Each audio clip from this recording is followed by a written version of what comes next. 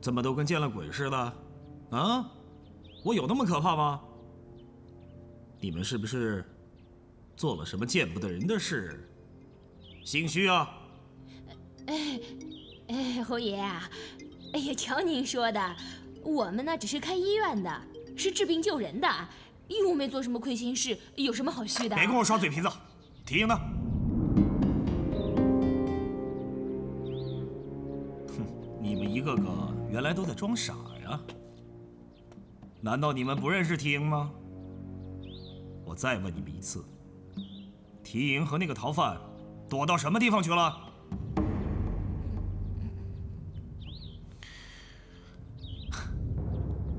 朝廷为了捉拿人犯，这次可是出了一百两黄金。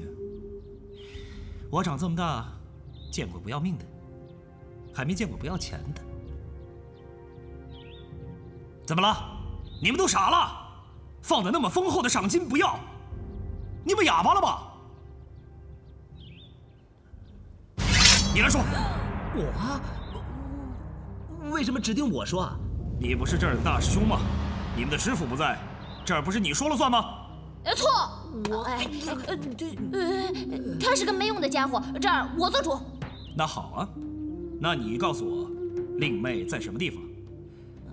呃，只要你说了。那一百两黄金，就都是你的了。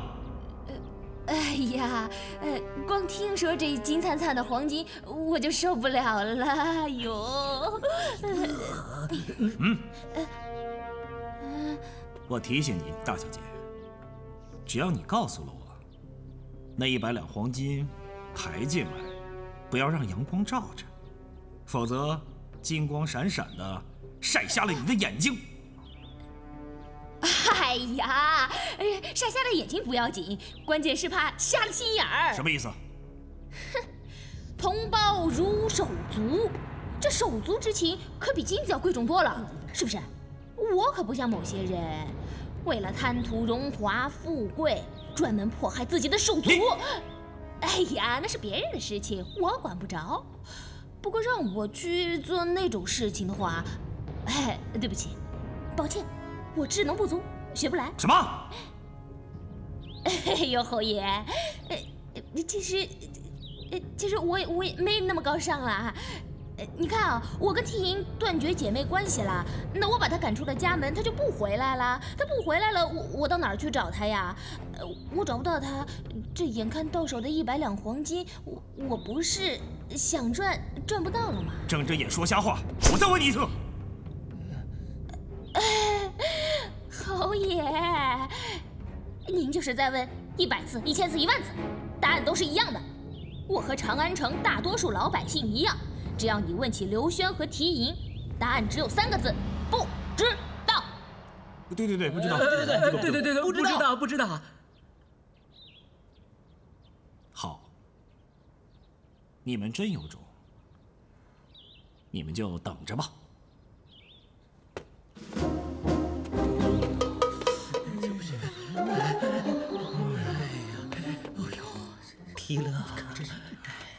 刚才的表现真是太神勇了！是是是是，我太爱你了！哎呀，笑死我了！啊！啊！站住！站住！站住！呃，这这，检查！哎呀，这呀，这什么呀？啊，走吧，走走走吧！哎，走走走走走！你你你，站住！呃，走，什么东西啊？走走走，检查！下一个，下一个，走走走走走！快快快来！哎，看什么看什么看什么！少主，嗯，走吧。啊，少主，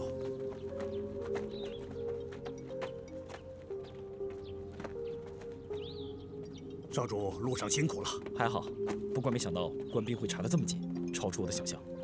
刘轩行刺吕后，这毕竟不是一件小事啊。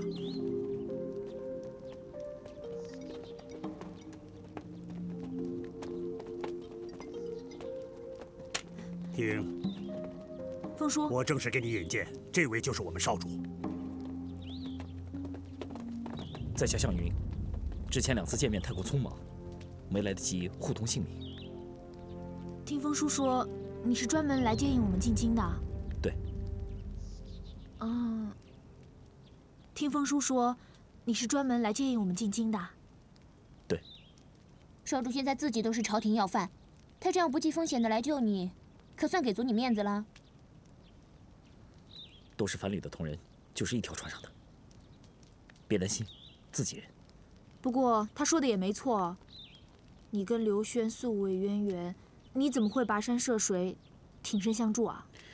说来话长，既然你已经卷入其中，那就当做向云报答你的救命之恩吧。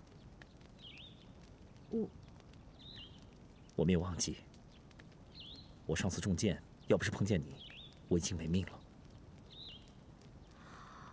啊！不好了，不好了，刘轩不见了！啊！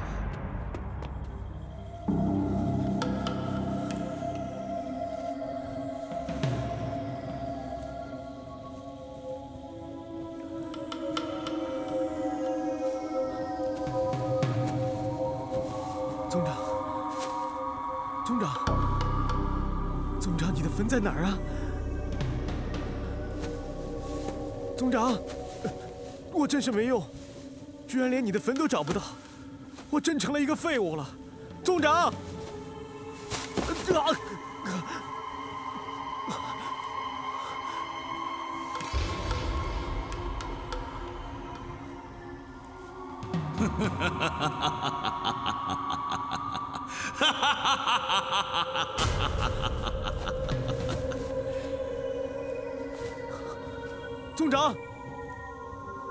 是你吗？刘轩，找到又怎么样？找不到又怎么样？你怎么还想不开呢？宗长，你在哪里啊？宗长，我的鬼魂在看着你呢。宗长，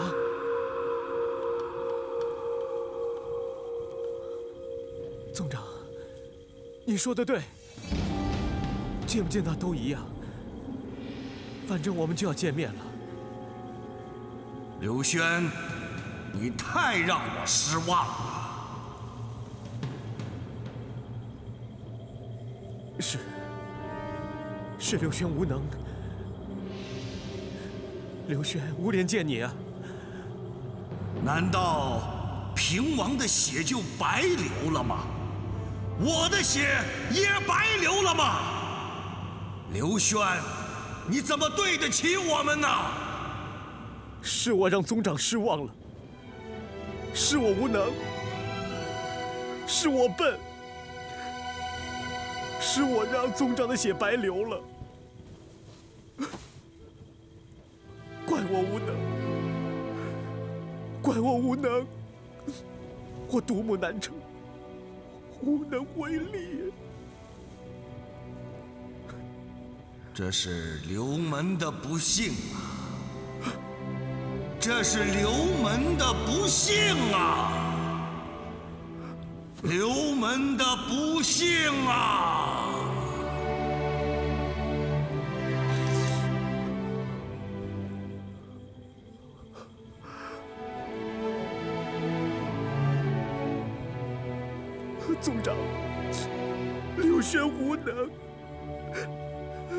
全让你的血白流了。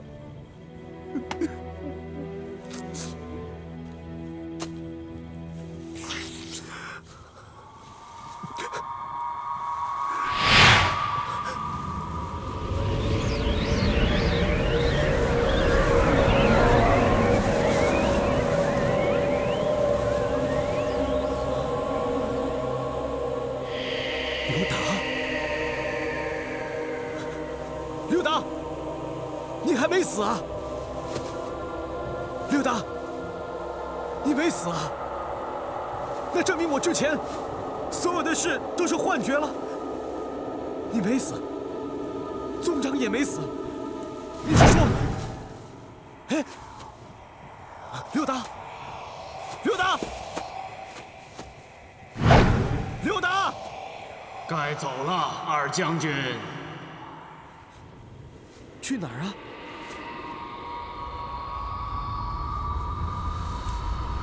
刘达，你要带我去哪儿啊？宗长要我带你去一个地方。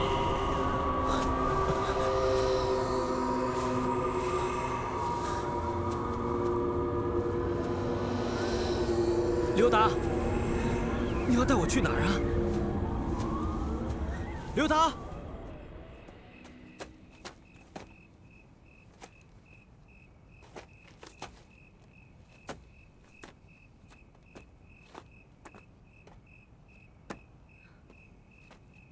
你是不是还嫌我们不够暴露啊？站在这儿让官兵来捉你啊？我怕刘轩找不到地方。他人都走了，还能回来吗？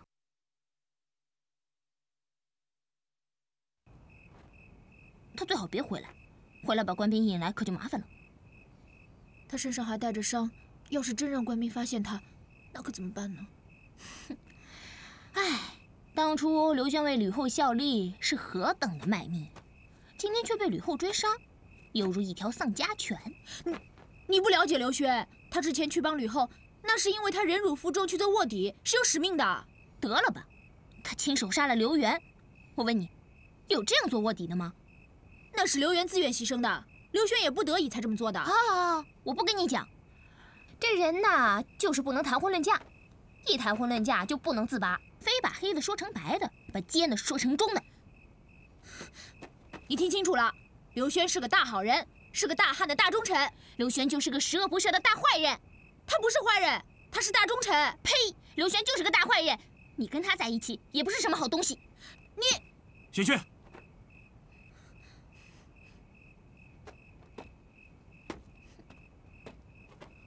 停！你要去哪儿？去找刘轩。那怎么行呢？你又不会武功，会很危险的。之前向少主说我们都是同一条船上的人，我看，并不是这么回事。哎，停！他要去找他的心上人，你又何必拦着他呢？玄雀，我告诉你，从现在开始，提营的事就是我的事，刘轩的事就是项家的事。你不是项家的人，你可以不管，但也用不着在这煽风点火，唯恐天下不乱。你难道忘了吗？我们这次进京还有更重要的任务，你难道敢违抗圣尊的旨意？我尊重圣尊，但不等于唯命是从。何况，救刘轩也许对我们项家有帮助。你那根本就是个借口。随便你怎么说。总之，救刘轩的事，你要管的话，就少说两句；你要不管，没人勉强你。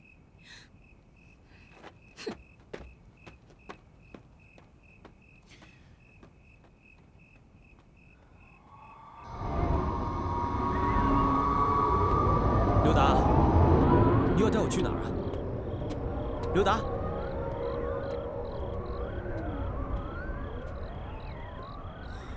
刘达，你带我去哪儿啊？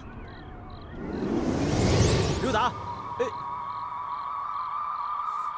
刘达，刘达，刘达，你去哪儿了，刘达？哎，这不是我家吗？怎么到这儿来了？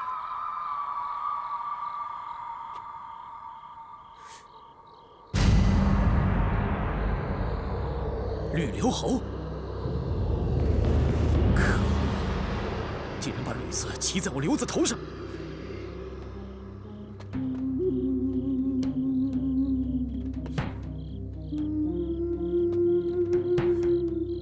我明白了，原来宗长要刘达引我至此，是为了要我实行家法，惩戒叛徒。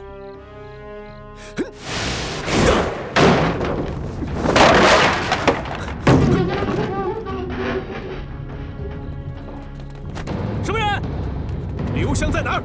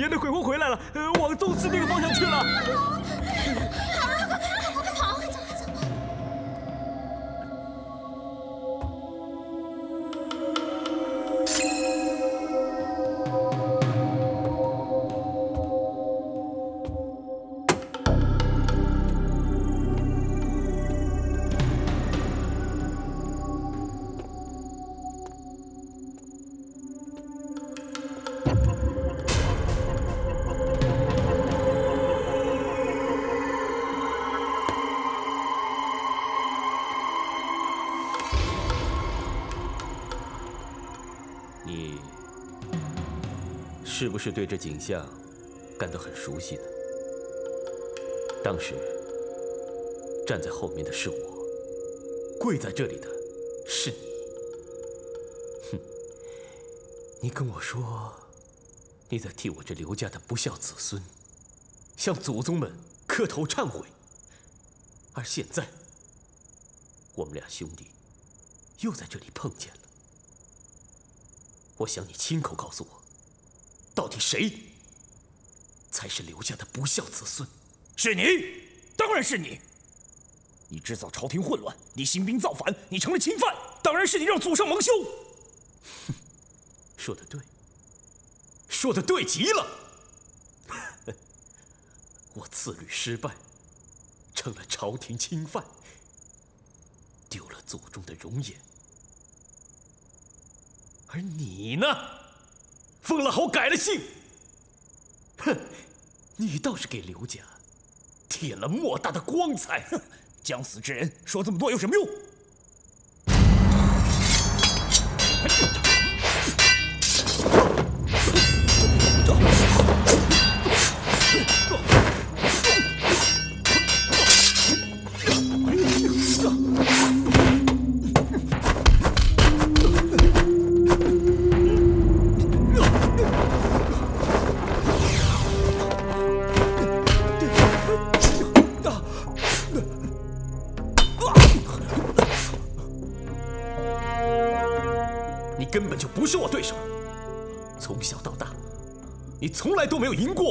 你就杀了我！如果你真有种的话，当着祖宗和爹的牌位，杀了你的亲大哥。亲大哥，哼！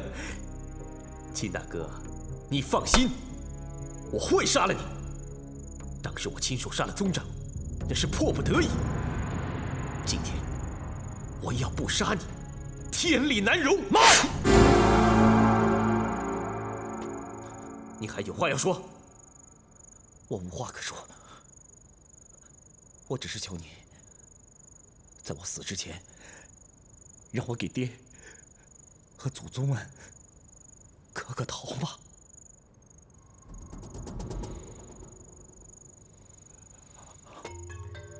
人在官场，身不由己。香儿一念之差，辱没了祖宗。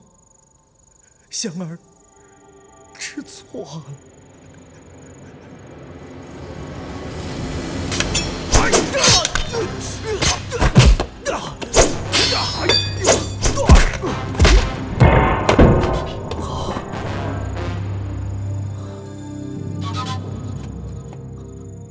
论武功，我是不如你，但是论计谋，我却比你强得多。刘轩，你的心太软，当不了英雄。去死吧！什么人？反领的人，不像你，根本不是人。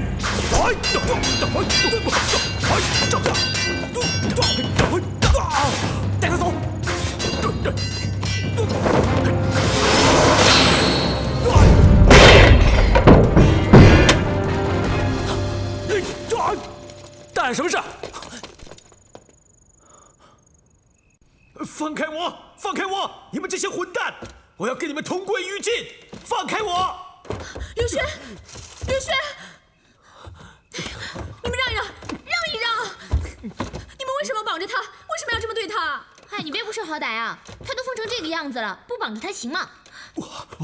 我我不是奸细，我不是奸细。刘轩啊，你都伤成这样了，你为什么要去冒险呢？你，我不是奸细，我不是奸细，你才是奸细，我大哥刘轩才是奸细。刘轩，你冷静点，冷静点呐！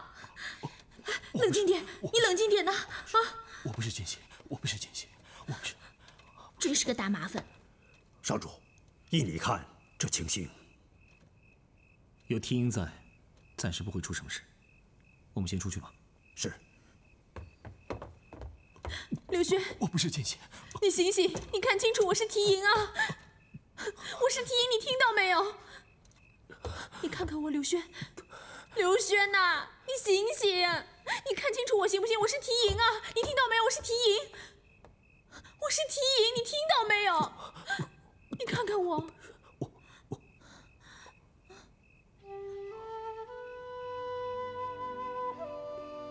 提营，你终于回过神了。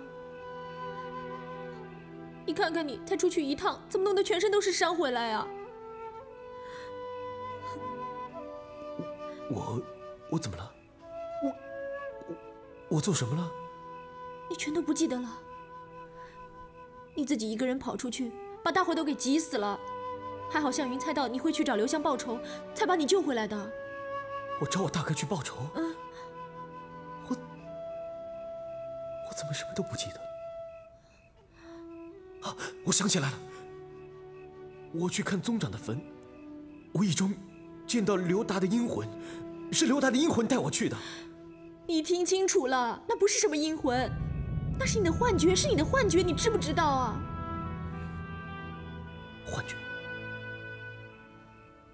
都是幻觉。我求你了，你自己心里的压力你放不掉，这些幻觉都会跟着你的，你知不知道啊？刘轩，你振作点行不行？我是帮不了你的，你要自己好起来，你知不知道？一定要好起来，知不知道？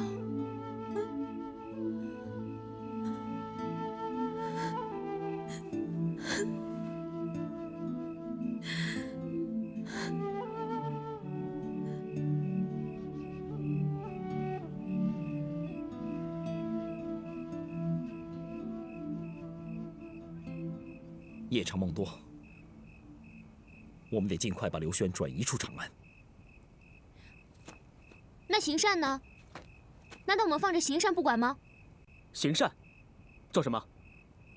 想让楚霸王起死回生的关键所在就在行善。你们家少主因私怠公，把正经事儿给忘了。少主，找行善的事可以慢一点再说。现在城中戒备森严，任何行动都会给我们带来不利。可是，再说，救了刘轩。也许对我日后寻找行善有所帮助。刘轩和行善，我问你，刘轩和行善之间能有什么关系呢？刘轩当初是奉吕后之命，到黑中国夺走不老药的，不是吗？嗯，是啊。吕后是从行善口中得知不老药的所在，派去的人是刘轩。那么说，刘轩知道行善的下落，知道这个秘密，也不无可能。那既然少主有这种想法，为什么不向刘轩求证呢？刘轩现在这个样子，能问出东西吗？冯叔，有什么法子出城吗？这。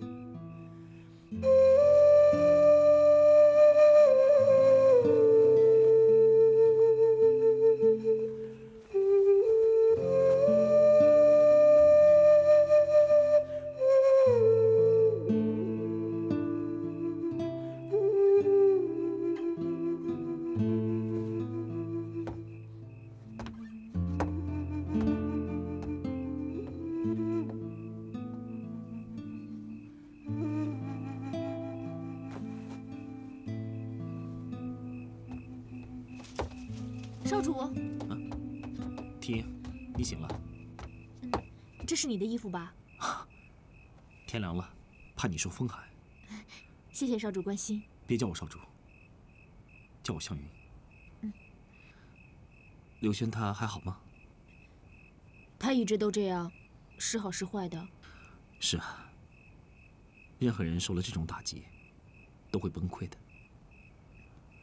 少，嗯，向云，我一直有个问题想问你。我一直都不知道你们到底是什么身份。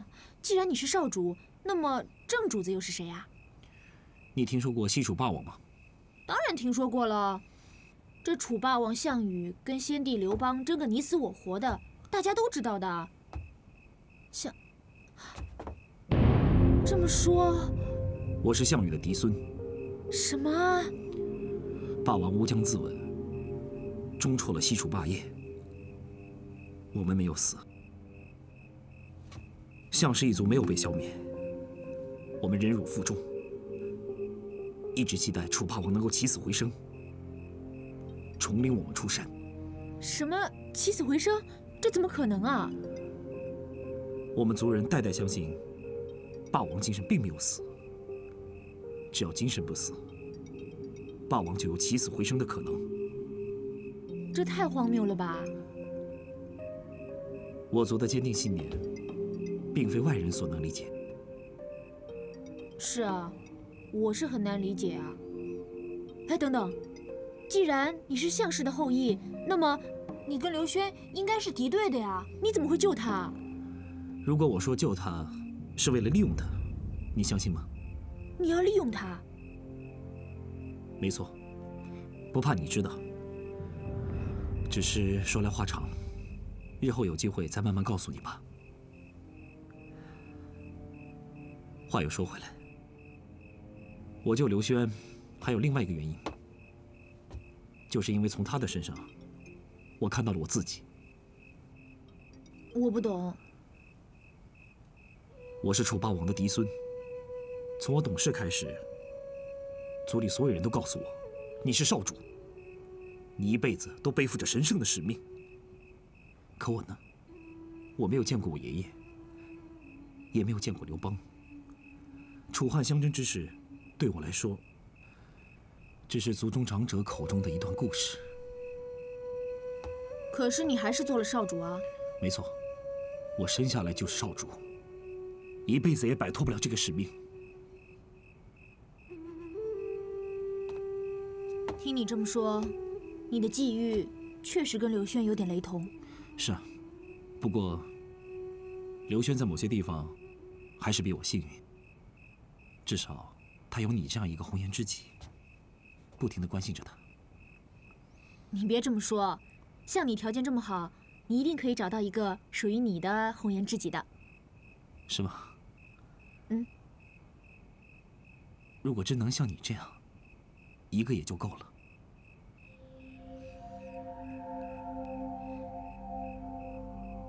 啊，对了，我这次来是要跟你说，我们打算尽快的把刘轩送出长安城。是啊，我也是这么想的。只不过刘轩现在情绪那么不稳，万一他出城又发疯了，那该怎么办？所以一定要想一个特殊一点的办法。特殊的办法？没错，活人很难出城，那死人就容易多了。死人？你的意思是？为了出城，他必须先死一回。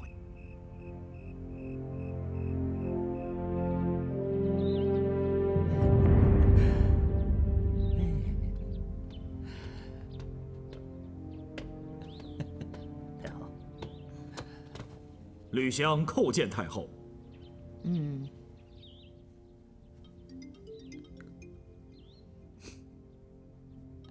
太后，吕留侯还跪着呢。起来吧。谢太后。你过来。是。你知不知道我在做什么？太后，应该是在喂鱼吧。哼。这些鱼啊，我已经养了很多年了，可就是不知道他们心里到底在想什么？依你看，他们知不知道是我在养着他们？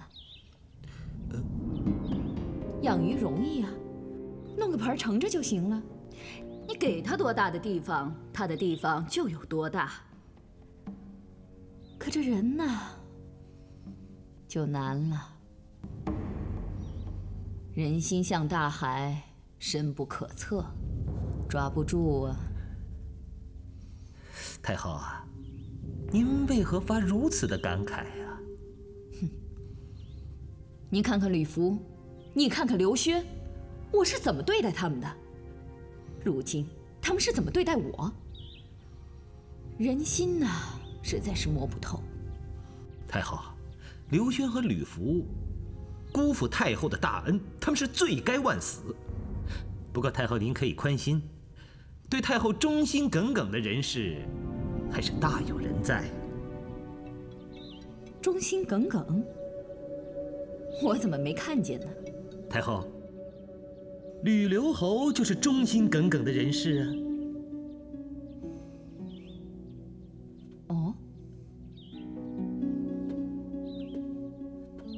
你是吗，香儿？呃，臣在。你身上的伤不碍事吧？啊，我听说昨夜有刺客侵入侯府，那个人长得很像刘轩，身手也像。我在想，你一定是念及手足之情，不忍杀他，结果自己却反而受了伤。启禀太后，那个刺客的确是刘轩。啊！哎呦，我随便说说的，居然让我说中了。那他人呢？逃了。逃了？就这么逃了？是。一吉，这种话你信吗？哎呀，太后，这堂堂的侯爷府，有上百个侍卫，那刘轩说来就来，说走就走。说什么我也不信呢。太后，微臣忠心耿耿，可见天日。以及，你怎么能怀疑侯爷呢？哎呀，太后恕罪，这也怪不得微臣。你说侯爷府发生了这么大的事情，他也不来向您禀报，他到底安的什么心呢？太后，微臣早就想禀报太后，只是前一段忙于捉拿刘轩，分不开身，所以。是啊。人家说的有道理啊！太后，这侯爷先前说刘轩已经死了，可是现在刘轩又冒出来了，他又活了，这分明是欺骗太后。启禀太后，臣事先的确掌握了刘轩没有死的消息，只是一直没有得到证实。直到刘轩昨夜突然现身。微臣才真正的知道，吕香，你可要知道，你的一举一动，可都逃不过太后的眼睛。微臣不敢。沈一基，太后，太不像话了！别人我不相信，吕香我还不信吗？太后明鉴。我只是关心她的身体，谁让你多嘴，胡乱猜疑？是是是，太后，呃，微臣该死，微臣该死。只是除了吕福和刘轩这两个逆贼，微臣我不得不多个心眼儿啊！荒唐！吕香是什么人呢？那两个叛贼能跟他相提并论吗？多谢太后信任。我常说，杀刘轩者，必是吕香。请太后放心，微臣一定会割下刘轩的脑袋，呈给太后。你瞧瞧，我就说吧，这宫里我唯一可以放心仰仗的，就只有你了。来吧，陪我走走。是。嗯。哎呦，哎这这哎，别见了。啊。不肯待在水里，就让他死了吧。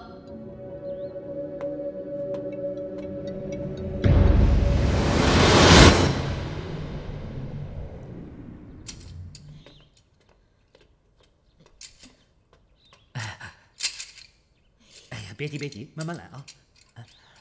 哎你看看这个是不是啊？不是啊这不是爹的假死处方啊。哎呀真是奇怪了，我跟师傅这么多年了，也没听他说过什么假死处方啊。爹说过，当年他救默娘的时候，就是用这个假死处方的。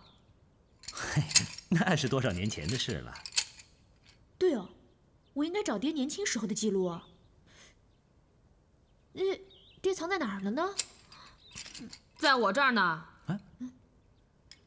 你可得看清楚了啊，别吃错了药。嗯嗯嗯。哎，对对对对对对，这就是爹当年的假死处方啊！哎，师傅的假死处方怎么会在你这里啊？当年爹经过深思熟虑，认为这个假死处方得因人而异，万一吃不好，别人是醒不了的。反正爹要把它毁了，我屋子里的柜子也一高一低的。我索性把它当垫子了，大姐，谢谢你啊。哎呀，哎，赶紧去抓药啊！哦，在哪儿啊？天门东。天门东。嗯，对。呃，这个吧。还有呢？穿屋头。穿屋头。那，这个柜子里。哦哦。哎，哎，拿着。小心一点啊，你。你呀，还有呢，千万别说你是春玉家的女儿，说出去丢脸。是，大姐教训的是。哎，还有什么？还有乌贼骨。乌贼骨，啊，在这儿。那，你这法子行得通吗？爹的药方，我想应该没问题的。我不是说爹的药方，我是说刘轩呐。你让他用假死的法子出城，被官兵发现了怎么办？现在满城通缉啊，只有想出这个办法，其他什么都想不到了。你这种办法都想得出来，死丫头！你不会是想扮魏王人，跟着送葬吧？我我……哎呦，我的天哪！这长安城一半的人认识你，到时候这个跟你打打招呼，那个跟你寒暄两句，你你不是露馅了吗？哎呀，你笨死了！哎呀，大姐，你放心了，我不在那些送葬堆里，我会先出城。我会在城外等刘轩的，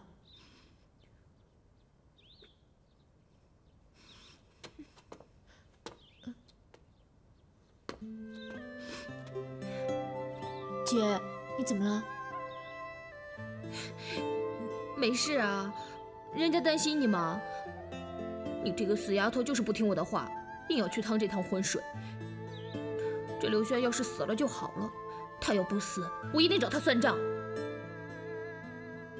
姐，你放心，我会照顾我自己的。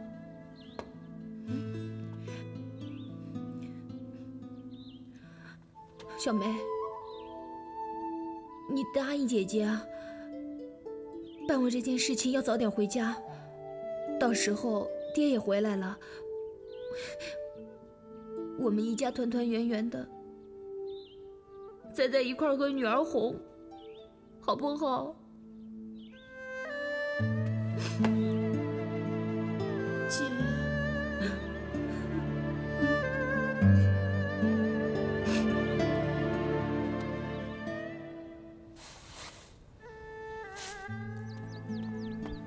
消息准确吧？小的亲耳听到，绝对错不了。嗯。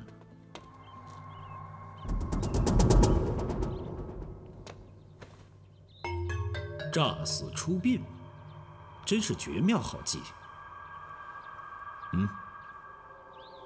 嗯，哎，谢侯爷赏赐，谢侯爷赏赐，去吧。哎，好。侯爷，该怎么做，请示下。既然刘轩连自己的棺材都准备好了，我怎么能让他失望呢？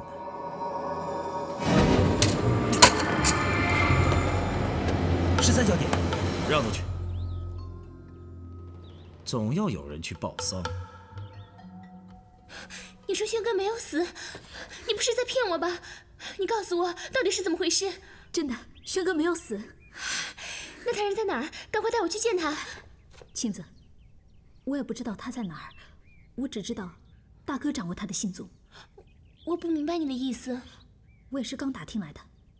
原来大哥在春医医院布了眼线，打听出提英准备用假死出殡的方法掩护二哥出城了。大哥知道这件事，肯定不会放过二哥的。也就是说，即使轩哥没有死，但是也有可能落入刘香的圈套。是啊，我也是不知道该怎么办才好，才来找你商量的。哎呀，刘香，难道他就真的不顾手足之情，要对轩哥赶尽杀绝吗？你就不要再指望我大哥了，他现在已经变得丧心病狂，一点人性都没有了。哎，有办法了，去纯医医院，我去找提银，让他提前做好防范。大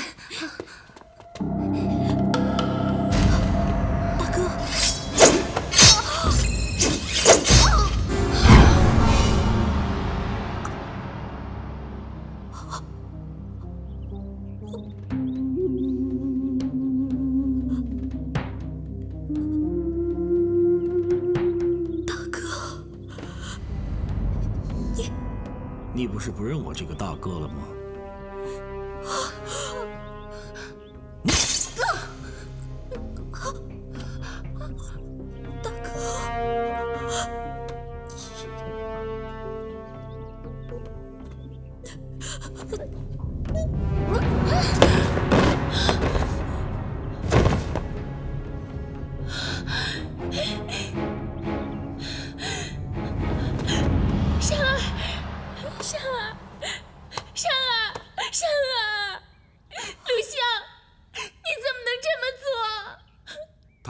朝廷机密，意图包庇罪犯，该死！